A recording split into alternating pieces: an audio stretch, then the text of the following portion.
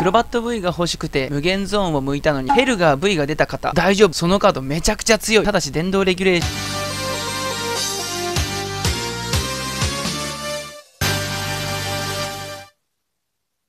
もこんにちは、アスカランブレです。最近はムゲンゾーンのパックをみんなクロバットくじだ、クロバットくじだって言ってこう剥くじゃないですか。まあクロバットが欲しいから、ドサイドン V とかガラルサニゴン V とかヘルガー V が出た時に、クソがゴミカス死ねやみたいな感じで、そんな風潮があると思いますが、うちの動画ではこういったデッキが強いよ、ドサイドン V 実は強いんだよって言った紹介だったり、今日はヘルガー V を使ったデッキを紹介していきたいと思います。いろんなデッキを今後も紹介していくので、ぜひよかったらチャンネル登録してってください。スタンダード、エクストラ、電動、いろんなところ、幅広いい方面からこのカードはスタンダードでこういう風に強い。このカードは電動でこういう風に強い。エクストラでこういう風に強いっていうのを紹介していきたいと思います。今スタンダードしかやってないって方はもしよかったらこれを機にエクストラ電動とかもやってみてください。ということで今日紹介するのはヘルガー V です。ヘルガー V ねマジでこいつ可能性の塊だし電動レギュレーションの面白さっていうのをふんだんに詰め込まれたカードだったんです。それではどうぞ。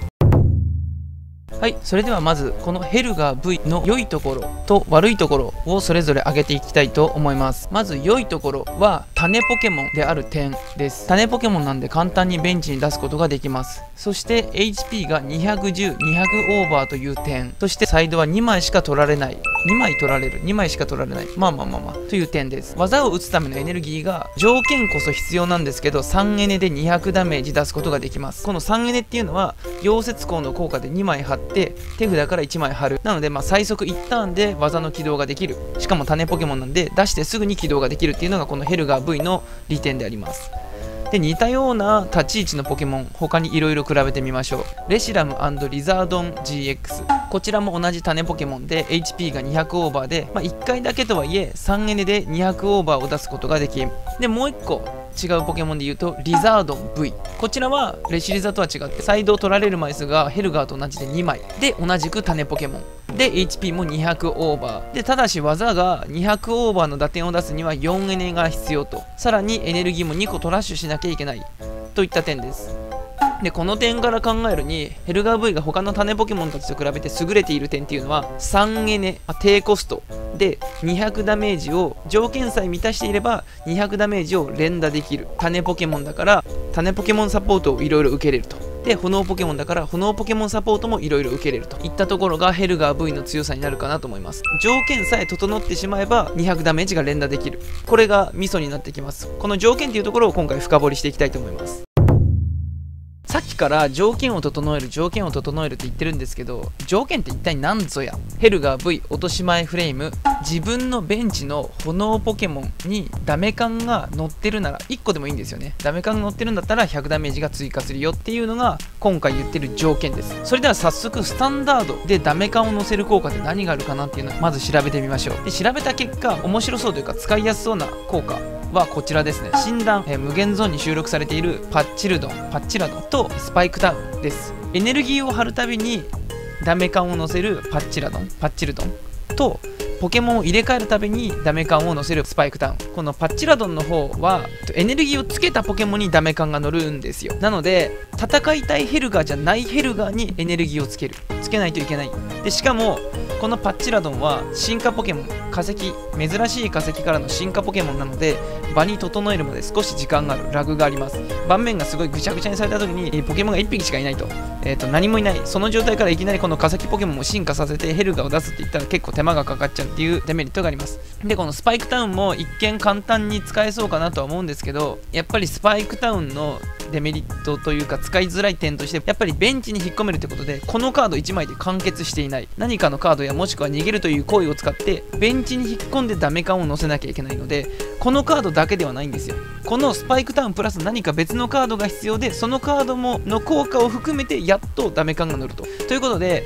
え僕はまあ、もちろんこれスタンダードで組む場合はこのスパイクタウンやパッチラドン使っていくといいと思うんですけどまだちょっとね腑に落ちないというかただダメ感乗せるだけでいいんですよだって。ただただダメ感乗せるだけだったらもっと相性いいカードがあるだろうって思うじゃないですか。自分のポケモンにダメカンを乗せるだけなのに進化ポケモンを立てなきゃいけないとかスタジアムを張って何か別のカードの効果も使わなきゃいけないとかちょっと効率悪すぎますよね。しかもダメカン1個でいいんですよ。もっと相性いいカードがあるはずです。ということで次に僕が目をつけたのはエクストラです。エクストラではまず凍てついた街というスタジアムがあります。これ先ほどのパッチルドンと同じ効果で手札からエネルギーつけた時にそのエネルギーつけたポケモンにダメカンを乗せるという効果です。でさっき進化ポケモンだったのでパッチルドンがそれがまあスタジアムになったってことでさっきよりは機動力は上がりました。でもう1個マグマ団の秘密基地。手札からポケモン種ポケモンを出した時にそのポケモンにダメカンを乗せるよっていうカードのスタジアム。まあどちらもスタジアムです。エクストラでやるんだったらこれかこれだと思うんですけどまだまだ腑に落ちない。だって凍てついた街の効果でダメカンを乗せるにはアタッカーじゃないポケモンにエネルギーを張ってそのポケモンにダメージを乗せなきゃいけないじゃないですか。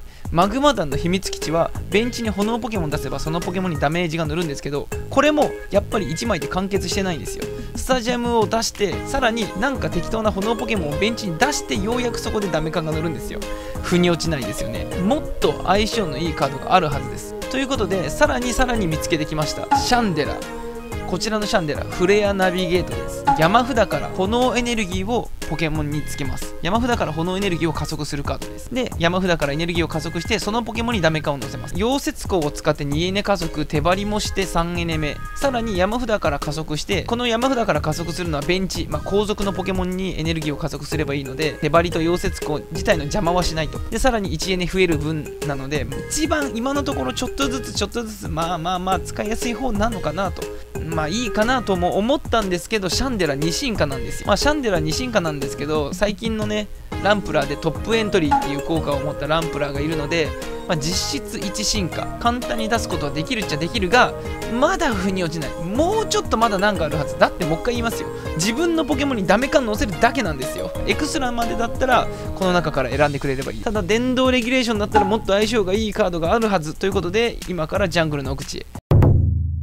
あったらいいながそこにある電動レギュレーション神ということで買ってきました。アンノンプット。テキスト読ませていただきます。このポケモンがベンチにいるなら1回使えます。自分のポケモンこれバトル場でもいいんですよ。どこでもいい。自分のポケモンにダメ感を1個乗せる完璧です。しかもアンノーンはこれ種ポケモンなのでネストボールでベンチに出すことができます。アンノーンもヘルガーもクイックボールで持ってくることができます。さらにアンノーンのこのダメ感を乗せる効果これ誰に乗せてもいいんですよ。ヘルガーに乗せてもいいし別の炎ポケモンでもいいんです。ヘルガーって最終的にアタッカーになりうるので極力ダメージ乗せたくないじゃないですか。ということでベンチのボルケニオン EX にダメージを乗せることもできます。でボルケニオン EX は自分の炎ポケモン自分の炎の種ポケモンがこのターン与えるダメージがプラス30されるんですよ。ボルケニオンで手札の炎エネルギーをポイってするだけで落とし前フレームの火力は230ヘルガー以外のポケモンが全員今 GXV 以外のポケモンなので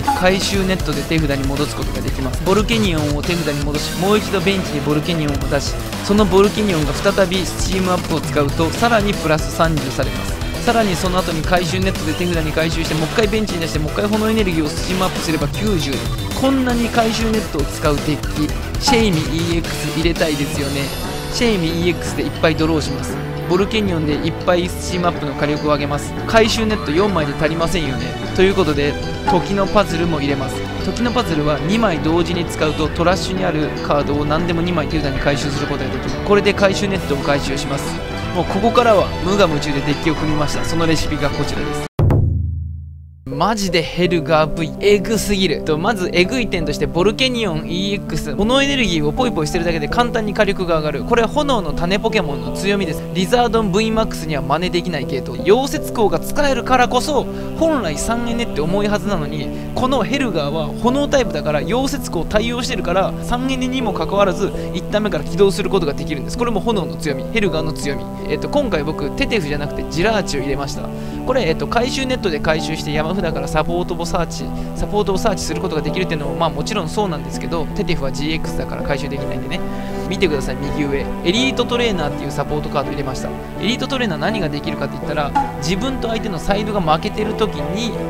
相手の手札を3枚に自分の手札を6枚にするサポートカードです。でジラーチが入ってます。ジラーチ EX で下の方に、えー、と真ん中が上から3段目の島巡りの証が入ってるんですよ。島巡りでこのジラーチ自戒させてサイド差無理やりつけて相手の手札を3枚にする。自分の手札を6枚にするっていうコンボもそのまま使えます。でなんでわざわざその島巡りのカード入れたかって言ったらこれめちゃくちゃ面白いんですけどジラーチだけじゃないんですよ。シェイミ HP110 なんですよ。この状態でアンノーンプットが10ダメージをシェイミに乗せたら HP100 になるんですよ。ジラーチのデメリットとして、えっと、島巡りの証を持たせた瞬間に自戒してしまうんですけどこのシェイミとりあえずシェイミに島巡りの証を貼る。とりあえず貼っといて後からあ今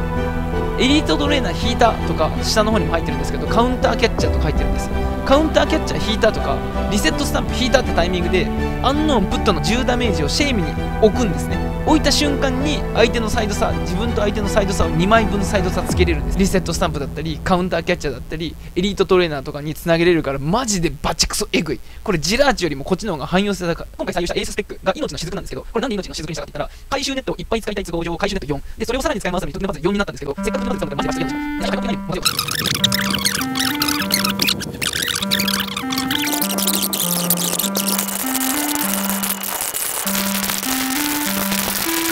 石とか入れなくていいかなってことで今回こんな感じに